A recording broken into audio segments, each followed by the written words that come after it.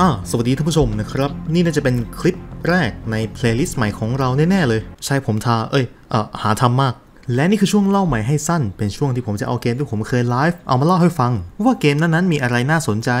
จะไม่ใช่การสรุปเหมือนล็อกนะครับ ซึ่งเกมแรกที่จะประเดิม playlist ของเราในครั้งนี้ คือ Tokyo Psychodemic เกมนี้มีอะไร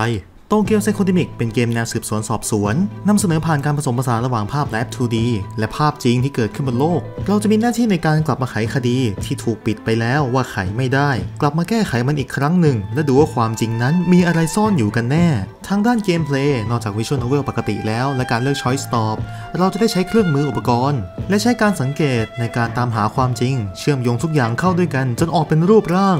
และช่วงเวลาในเกมนี้ถูก setting ในช่วงที่เพิ่งเกิดโควิด -19 ได้ใหม่ๆ ถึงในเกมจะไม่ได้พูดว่ามันคือโควิด -19 แต่ก็เดาได้ไม่ยาก อย่างไรก็ตามโรคระบาดที่เกิดขึ้นก็เปลี่ยนโตเกียวไปตลอดกาล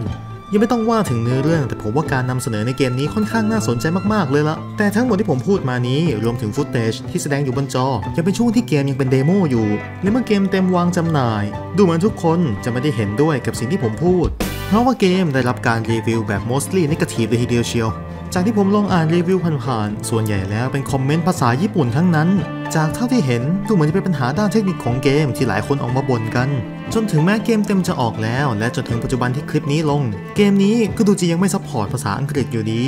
รวมถึงจากสิ่งที่ผมเดาเองเลยก็คือเกมนี้ราคามัน overprice ไปหน่อย ถือว่าเป็นความน่าสนใจที่น่าเสียดายมากๆเลยทีเดียวเชียวสรุปว่าผมมารีวิวหรือมาเผาเกมนี้วะเนี่ย ถ้าคุณอยากดู content แบบนี้อีก คุณสามารถ support ผมได้โดยการสมัคร Membership Donate หรือไลค์แชร์ Subscribe ตามแต่กำลังที่คุณมี